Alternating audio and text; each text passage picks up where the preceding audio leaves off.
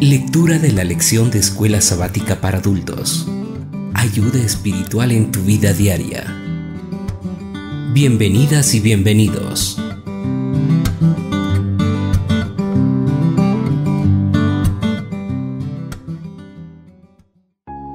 Hola, hola. Hemos llegado al último día de la lección número 7. Así que para hoy viernes 17 de noviembre, para estudiar y meditar. Lee Elena de Guay, El deseo de todas las gentes, El buen samaritano, página 460 hasta la 466.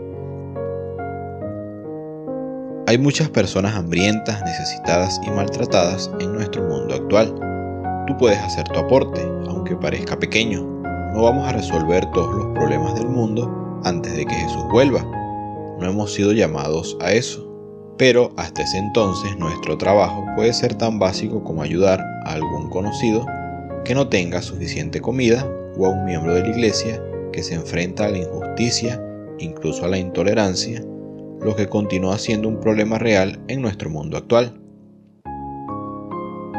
La religión pura y sin mancha delante del Padre es esta, visitar a los huérfanos y a las viudas en sus tribulaciones y guardarse sin mancha de este mundo. Santiago 1, versículo 27. Las buenas obras son los frutos que Cristo quiere que produzcamos. Palabras amables, hechos generosos, de tierna consideración por los pobres, los necesitados, los afligidos. Cuando los corazones simpatizan con otros corazones abrumados por el desánimo y el pesar, cuando la mano se abre en favor de los necesitados, cuando se viste al desnudo, cuando se da la bienvenida al extranjero para que ocupe su lugar en la casa y en el corazón, los ángeles se acercan y un acorde parecido resuena en los cielos. Todo acto de justicia, misericordia y benevolencia produce melodías en el cielo. El Padre desde su trono observa a los que llevan a cabo estos actos de misericordia y los cuenta entre sus más preciosos tesoros. Y serán míos, dice Jehová de los ejércitos, en aquel día cuando reúna mis joyas. Todo acto misericordioso realizado en favor de los necesitados y los que sufren es considerado como si se lo hubiera hecho a Jesús. Cuando socorréis al pobre, simpatizáis con el afligido y el oprimido, y cultiváis la amistad del huérfano, entabláis una relación más estrecha con Jesús. Elena de Guay, Testimonios para la Iglesia, tomo 2, página 24. Preguntas para dialogar. ¿Cómo podemos asegurarnos de entender que el mandamiento de amar a Dios y a los demás no es salvación por obras? Cuando consideramos quién es Jesús y lo que hizo por nosotros en la cruz, ver Filipenses 2, versículo del 5 al 8. ¿Por qué es un error tan grande la idea de que podemos hacer algo para ganar o merecer la salvación?